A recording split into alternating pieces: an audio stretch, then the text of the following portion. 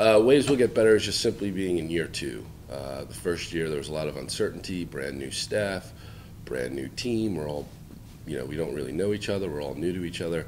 So just the fact that we've been together for a year now, the newcomers um, get to see by the kids who have been here last year how to do things the right way.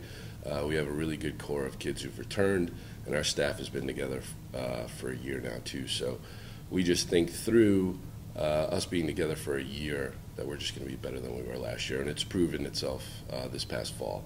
We've competed a lot better uh, this past fall than we did uh, the previous fall. Key returners for us would be Ben Savick as a goaltender. Uh, is returning as a sophomore. He played really well last year. Uh, kept us in a lot of games. We lost a few one one goal games uh, that we probably shouldn't have been in, but simply because he was playing really well, we were in. We have a, a, great freshman class that's come in. Uh, a couple transfers, D1 transfers, a couple JUCO transfers, and then we've had about, I think, 15 freshmen from about 11 diff different states come in as well. So uh, we're super excited to see what that looks like this spring.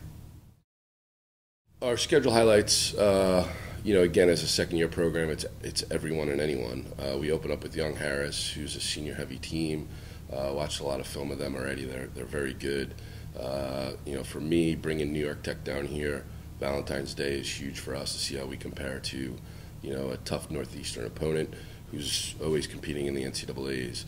Uh, and then from there, it's just anyone in the SSC. I mean, uh, there's a three or four of them in the top 20 every year. Uh, this this year's team compares to last year's team. Uh, there's a level of maturity and leadership that that's there that wasn't last year, simply because we were all new. So the returning guys like Jackson Miller, Ben Savick, uh, the additions of Kyle Savick and a few others just helps us with our leadership and our mentality to understand what we need to do to be great this year, as opposed to last year, we were just kind of feeling things out.